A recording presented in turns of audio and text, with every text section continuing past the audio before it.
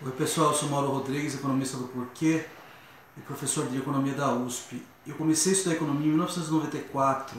Esse é um ano bem importante para a economia brasileira, que é o ano da estabilização, o ano do plano real, que a gente se livrou da inflação. Mas a minha escolha não tem nada a ver com isso. Eu comecei a estudar economia porque eu gostava de história e de matemática. Eu achei que economia era uma disciplina que podia juntar essas duas coisas. Quando eu comecei a estudar, quando eu entrei na faculdade, eu descobri que é muito mais que isso.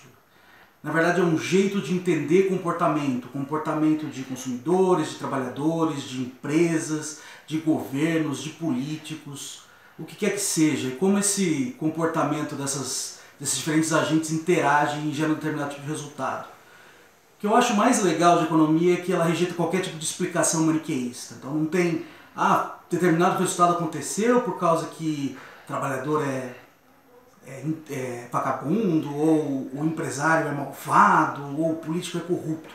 Não, comportamento vem por causa de sistema de incentivo. Então, se eu quero gerar determinado resultado que seja bom para a sociedade, tem que pensar nos, nos incentivos por trás disso e não necessariamente ficar culpando as pessoas. Abraço!